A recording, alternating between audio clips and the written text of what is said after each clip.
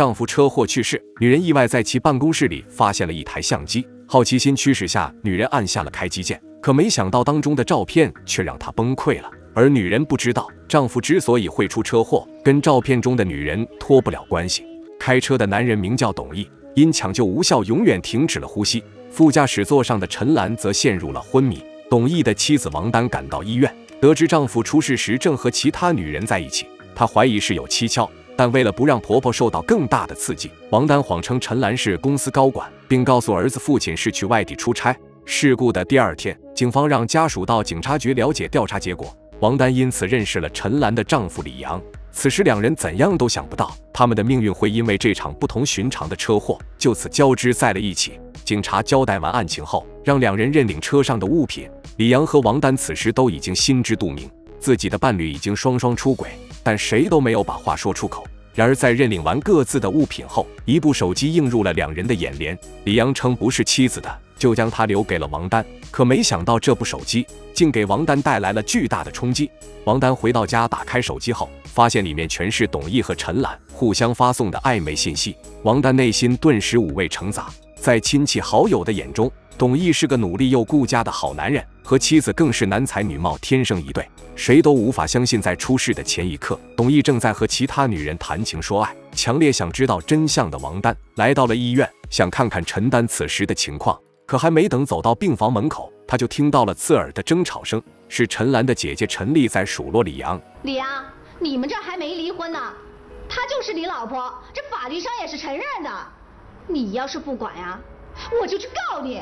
陈丽为人蛮横霸道，她不愿意照顾昏迷不醒的妹妹。却把责任全部推到了李阳的身上。李阳没有任何反驳，称自己会尽心照顾妻子。陈丽这才悻悻作罢。走出病房时，他和王丹打了个照面。得知王丹是董毅的妻子时，陈丽二话不说便撒起泼来，还莫名给了王丹一巴掌。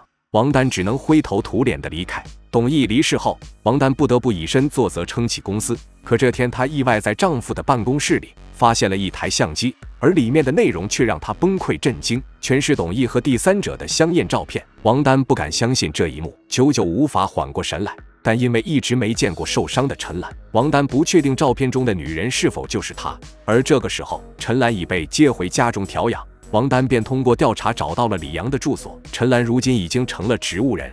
为了不增加经济负担，李阳便把她接回家中照顾。说罢，李母犹豫了片刻，向王丹提出了一个有些难以启齿的要求。李阳最近忙于工作，早出晚归，自己的身体又是这般孱弱模样，希望王丹能帮忙擦拭陈兰的身体。王丹二话不说的答应了。尽管眼前这个女人是插足他婚姻的第三者，但王丹仍然细心护理起陈兰。而李阳向领导请示后，早早结束工作，回到了家中。看到在妻子床边忙前忙后的王丹，李阳讶异不已。在交谈之中，王丹意外得知李阳和陈兰感情不和已久。如果没有这场车祸，夫妻俩可能已经办好了离婚手续。李阳隐隐感觉到妻子在外头有人，却又不愿意相信。直到他无意间发现了陈兰和董毅的银行转账记录，而王丹也将他发现的证物递给了李阳，正是她丈夫的手机和相机。看着相机中一幅幅不堪入目的画面，李阳几近崩溃。而从这一刻开始，他的人生也将迎来一场新的变故。受到巨大打击的李阳和几个朋友在街边借酒消愁。当晚，他喝得酩酊大醉，没走几步就一头栽倒在地。这时，一辆车停在了他的身旁，王丹从车上走了下来。次日清晨，李阳睁开双眼，发现自己躺在王丹的车中。为了照顾李阳，王丹昨晚几乎没有合眼。两人在外共进早餐，交谈期间，王丹得知李阳和陈兰在同一家工厂工作。陈兰曾经手过董毅公司的业务，李阳猜测就是因为这次的业务，妻子才和董毅扯上了关系。李阳郁闷地表示，自己已经不知道该用什么态度面对妻子。那些照片和视频始终在他脑海里环绕，即使陈兰苏醒过来，他也无法心平气和地接受这一切。然而，王丹随后说出来的话却让李阳震惊了：“如果我们俩因为这件事而如果让他们俩知道，他们会是种什么感受？”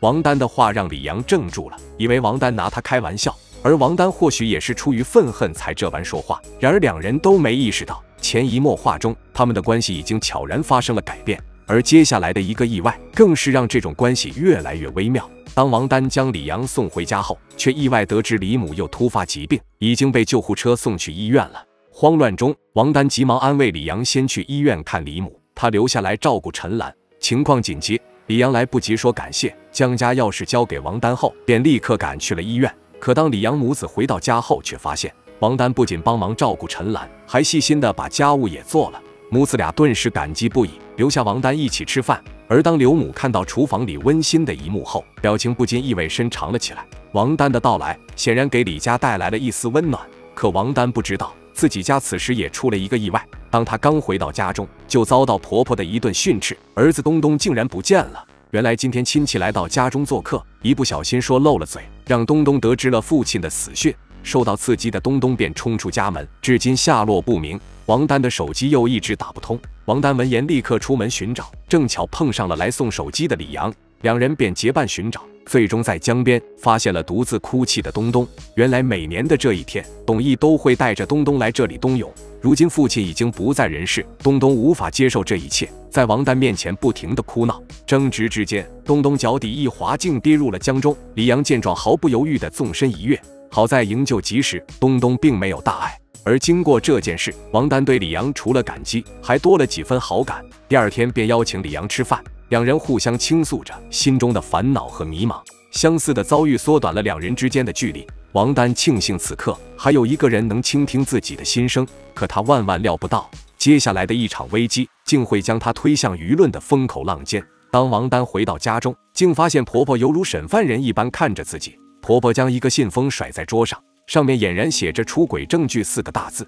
王丹打开信封，里面竟是她与一名男子的亲密照片。王丹的脑海里开始浮现出一段回忆，男人名叫郭强，是王丹的初恋情人，两人本已彻底断绝了关系，可郭强最近却频繁缠着王丹，还对她做出各种非分举动，但都被王丹严词拒绝。然而婆婆却不相信王丹的说辞，认为她背着董毅和郭强有染，气急败坏下破口大骂，明明是董毅背叛了婚姻，自己却反而蒙受了不白之冤。王丹本想拿出照片和视频作为证据，但想到这样既不能证明自己的清白，又会再度刺激公婆俩，最终只好忍气吞声地离开了家门。他独自走在街上，偶遇了出门办事的李阳。得知了王丹的遭遇后，李阳不停地安慰着他。说到动情之处，王丹潸然泪下，情不自禁地靠在了李阳的胸膛上。没想到邻居王姨刚好路过，并用手机拍下了这一幕。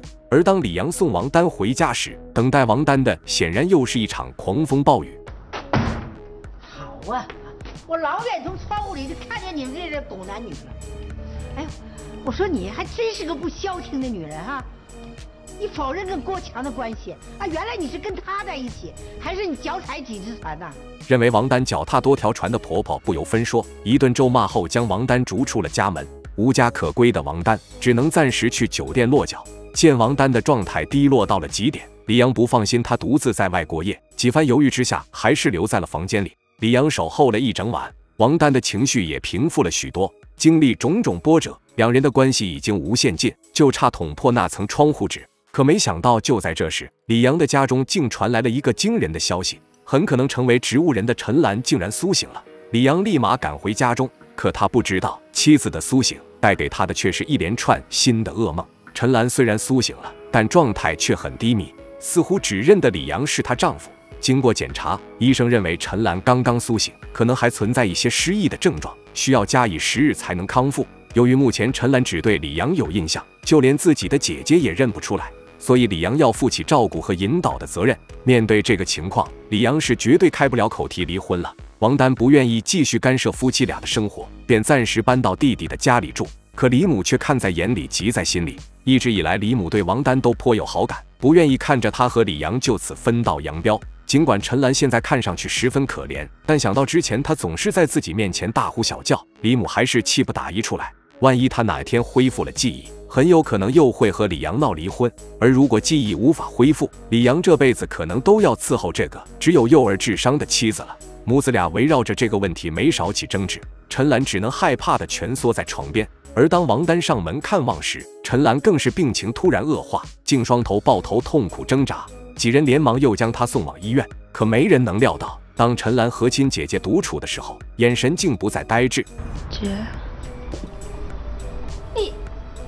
你认得我了？没失忆。原来失忆是陈兰装出来的。董毅已经车祸身亡，陈兰知道自己现在唯一的依靠只有李阳了，可自己过去的种种恶行却让他没脸再坦然面对李阳。为了留住李阳，他只能假装失忆。可王丹的出现却让他感觉到了强烈的危机感。姐，我有个想法，啊，你要帮我。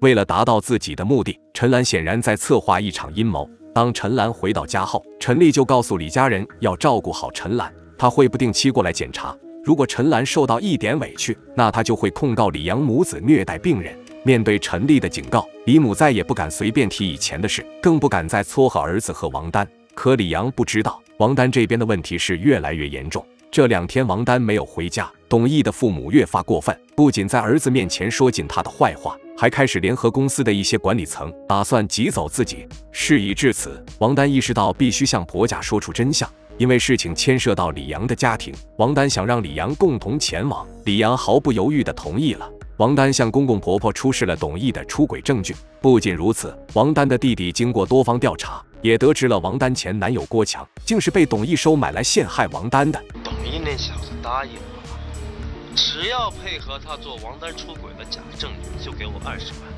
面对铁一般的证据，董毅父母知道自己误会了儿媳，王丹的家庭纷争就此告一段落。但陈兰姐妹俩见李阳和王丹来往密切，却坐不住了。陈丽开始不断恶语相向，李母咽不下这口气，忍不住替王丹说话。王丹不仅在陈兰昏迷期间悉心照料，还承担了所有的护理费。而身为陈兰亲姐姐的陈丽，除了卖弄口舌、搬弄是非，没有一丝一毫的付出。争执之中，陈兰突然惊慌地逃走了，几人连忙四处寻找。而此时的陈兰独自来到了江边。看着平静的江水，她的思绪却荡起了层层涟漪，不堪的往事以及自己对李阳的种种霸道无理，都一幕幕浮上心头。陈兰显然后悔了。一直到晚上，李阳终于接到了陈兰的电话，让他独自一人到天台见面。在李阳面前，陈兰不再伪装了，开始述说两人结婚后也曾有过幸福的时光。但李阳的迁就和忍让却让他的心越来越大，开始对现状产生不满，直到后来向李阳提出离婚。可现在他后悔了，想要和李阳回到当初的生活，怎奈王丹横在了两人之间。陈兰看得出来，李阳和王丹的眼里互相都有着对方。他想挽回李阳，可李阳却想让陈兰针对出轨的事给他一个交代。